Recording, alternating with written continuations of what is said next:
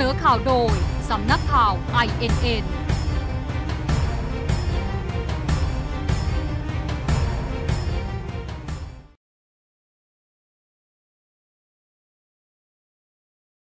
สวัสดีค่ะ 8 นาฬิกา 1 นาทีมาติดตามข่าวกับดิฉัน อัชราจ้อยจาดจากสำนักข่าว INN ค่ะ ชีวิตวิถีใหม่ หยุดเชื้อเพื่อชาติ อลงกรย้อนอันวานะคะว่ากินยาผิดมาจากไหนค่ะ เพิ่งคุยกันกลับมาถแถลงเรียกร้องอีกยืนยันว่าพักประชาธิปัตย์ไร้ปัญหา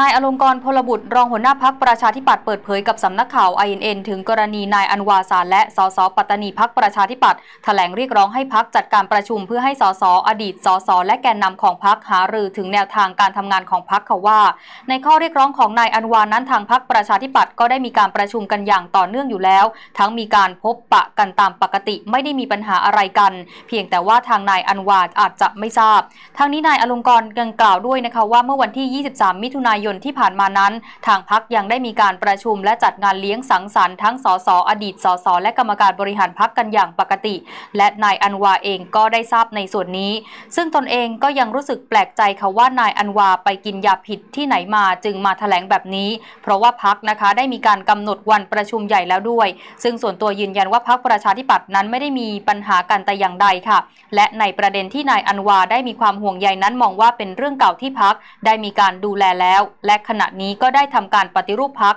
มากกว่าในอดีตที่ผ่านมาด้วย นอกจากนี้นะคะยังได้ให้โอกาสทุกฝ่ายในการมีบทบาทหน้าที่ตามภารกิจเรียบร้อยแล้ว อย่างไรก็ตามจะมีการเชิญนายอันวาเข้ามาพูดคุยทำความเข้าใจกันอีกครั้ง ว่ามีอะไรที่ขัดข้องหมองใจไปกว่าประเด็นนี้หรือไม่ค่ะธนวัฒน์คาดนะคะว่าปลดล็อกเฟด 5 ค่ะ ผับบาคาราโอเกะเงินสะพัด 15,000 ล้านถึง 30,000 ล้านบาทต่อเดือน ดีต่อระบบเศรษฐกิจค่ะ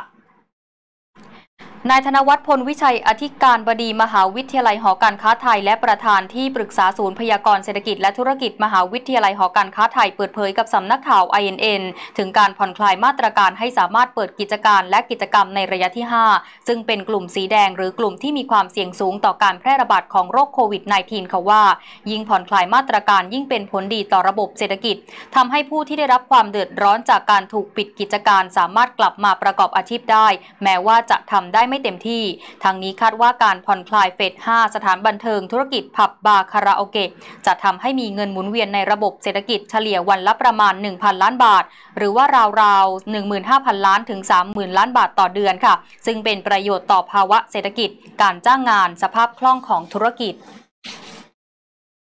ปิดท้ายที่กรมอุตุนิยมวิทยาเผยนะคะ ประเทศไทยฝนลดลงค่ะยกเว้นบริเวณภาคเหนือและภาคใต้ตอนล่างค่ะ ตกหนักบางแห่งกรุงเทพและปริมณฑลมีฝนร้อยละ 20 ของพื้นที่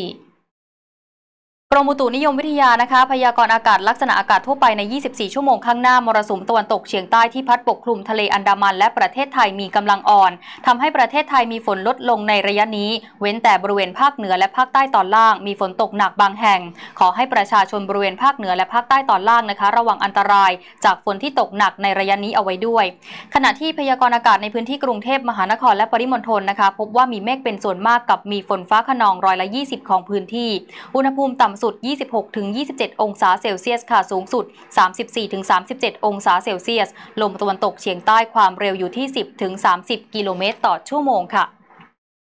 จบการเสนอข่าว 8 นาฬิกา 5 นาทีค่ะ